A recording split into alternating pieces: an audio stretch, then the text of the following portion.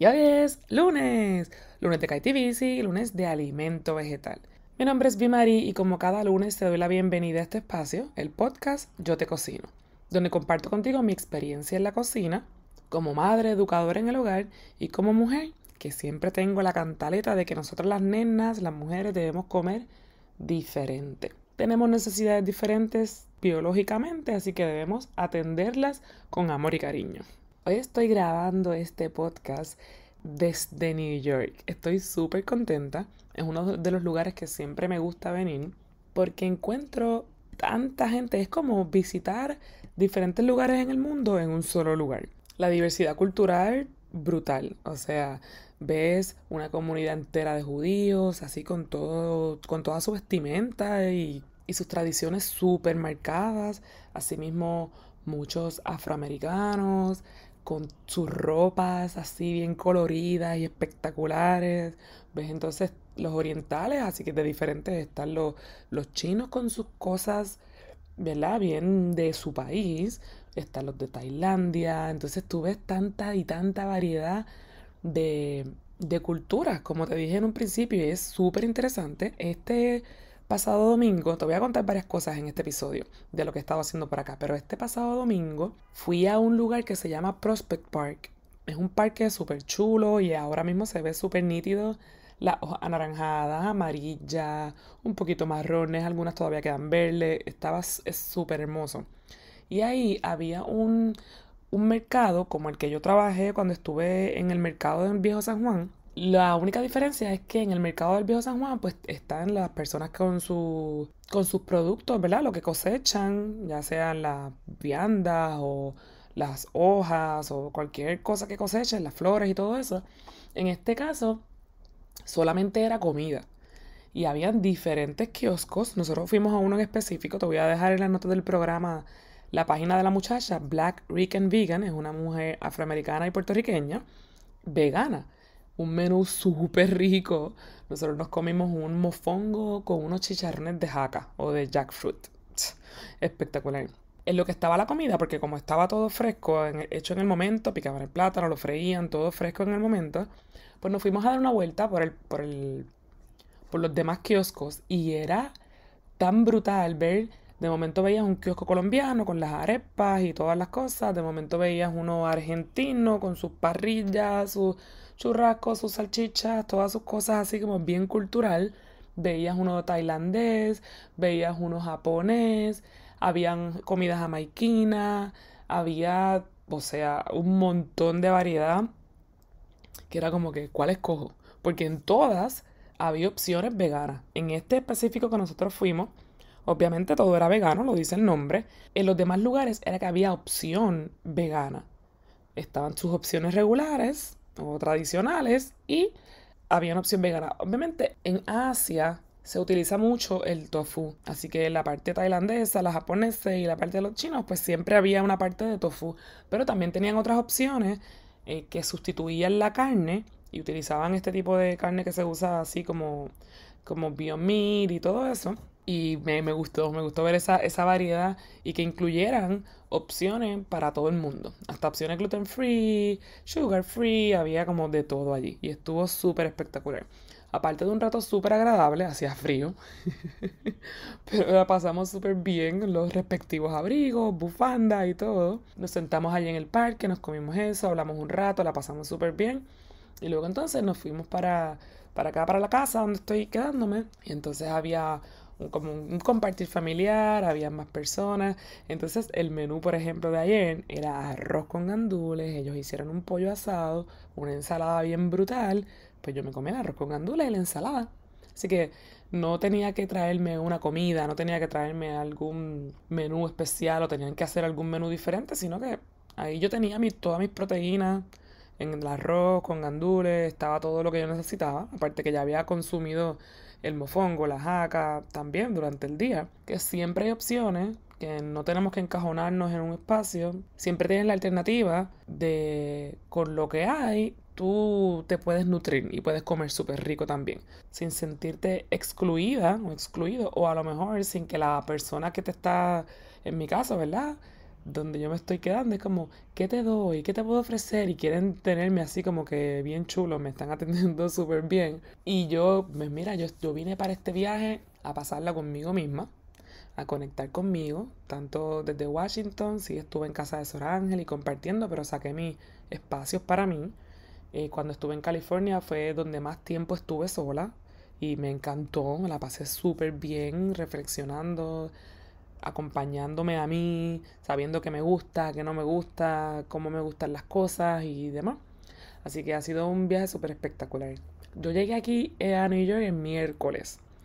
El miércoles la pasé aquí bien chévere. Fui a visitar un supermercado que se llama Aldi, que no había tenido la oportunidad de, conocerlo. Allí ya tú sabes, y como sabes que me encanta ir a los supermercados, me fui de ahí por las góndolas y me compré dos o tres cositas que las vi a un súper buen precio y de buena calidad. Compré un tofu, compré un cilantrillo, me compré unas sparkling water, como estas las Perrier y ese tipo de, pero marca, no me acuerdo qué. así que, y me compré unas hash browns, que me encantan las hash browns, me encantan las papas, así que eso no puede faltar. El jueves por la mañana me levanté tranquilita, me bebí un cafecito, me, me bañé, me vestí y cogí el tren hacia la parada del Brooklyn Bridge. Este puente que en su momento, en el 1883, cuando lo hicieron, 100 años antes que yo naciera, fue el puente colgante más largo del mundo. Y me puse a leer la historia antes de visitarlo en el correo electrónico. Este, envié hoy en el newsletter, te envié hoy las diferentes cosas que estuve haciendo y te puse los enlaces de los lugares que visité, que allá puedes chequearlo. Si todavía no eres parte de la lista de correo, anótate desde hoy y ese mensaje, como salió hoy mismo, pues no te va a llegar. Pero tú me escribes, Bimarí, yo quiero saber a todos los sitios que tú fuiste, anótame en la lista de correo y zúmbame el mensaje. Y yo, mira, rapidito.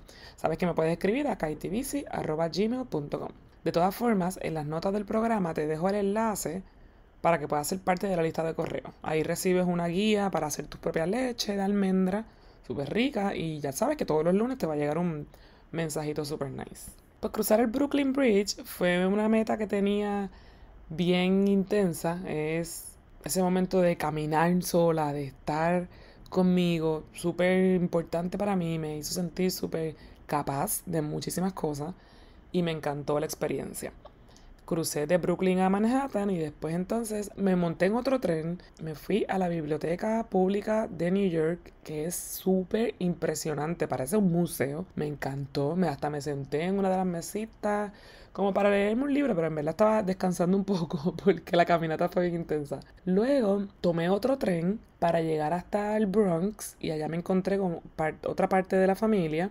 Allá compartí con ellos, comimos, la pasamos súper bien también. Y entonces luego el sábado regresé al puente, en esta ocasión desde Manhattan para Brooklyn.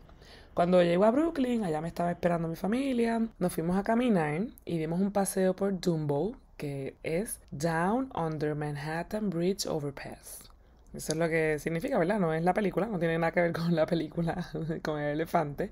Y realmente es un sitio súper chulo, hay muchas fotos súper famosas de ese lugar. Se ve bien impresionante el puente de Manhattan ahí, dos edificios y es una cosa súper bonita. Como te dije, si estás en el newsletter vas a recibir ahí toda la información y puedes entrar a los enlaces para que tengas una idea un poco de los lugares que estuve visitando. Estuvo súper chévere.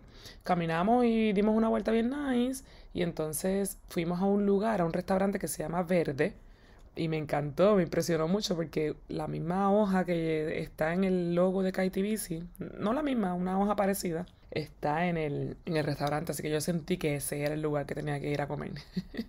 Estuvo bien bueno, tuvo un, el lugar era hermoso dentro de los mismos edificios, una vista súper espectacular, desde, ¿verdad?